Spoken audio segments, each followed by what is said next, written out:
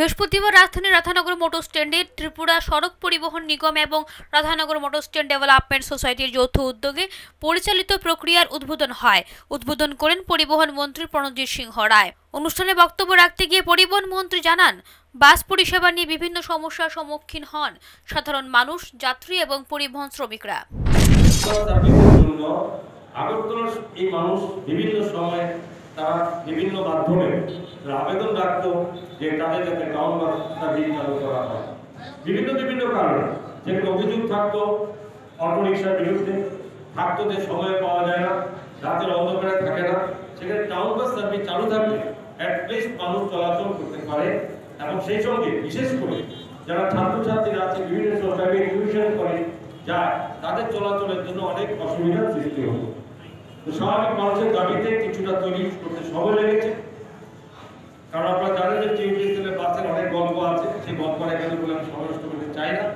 রাস্তাতে খুঁজে খুঁজে বাস বের করতে হয়েছে এবং সেটা সেই জঞ্জাল থেকে এখনও সরকার মুক্ত হতে পারে পঞ্চাশটা বাস দেওয়া হয়েছে টিআরটিসিকে সঙ্গে তার রিপেয়ারিং করার জন্য টাকাও সরকার দিয়ে দিয়েছে এবং তার থেকে মাননীয় চেয়ারম্যান টিআরটির দায়িত্ব নেওয়ার পরে যথেষ্ট উদ্যোগ এবং তার একনিষ্ঠ এবং তার যেখানে কাজ করার তার পরিকল্পনা।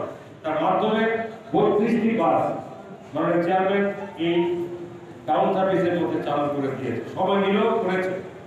যাই হোক, এরপরে কোভিড নাইন্টিনের সমস্যা এবং রুটের কারণে সেই বাসগুলো সঠিকভাবে তাদের প্যাসেঞ্জার পাচ্ছে না, এই ধরনের বিভিন্ন অভিযোগ আমরা থাকার পরে সেখানে একটা সমস্যা সৃষ্টি হয়েছে। তবে আশা করি এটা খুব সহসায় সেই সমস্যা মিটিয়ে দেওয়া হবে।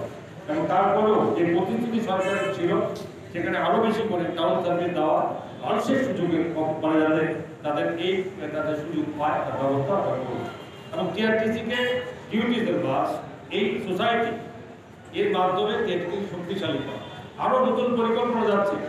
আমরা কিছুদিন পরে চন্দ্রনগর, এই চন্দ্রপুর, আমরা ট্রেনে আমরা এই চালু করতে যাচ্ছি সেখানে সিএনজি স্টেশন কারণ এখানে আমার অটো চালক বা যারা সিএনজি গাড়ি চালান, তাদের ভীষণ দাবি আছে। সংক্ষিপ্ত এই পরিষেবার কারণে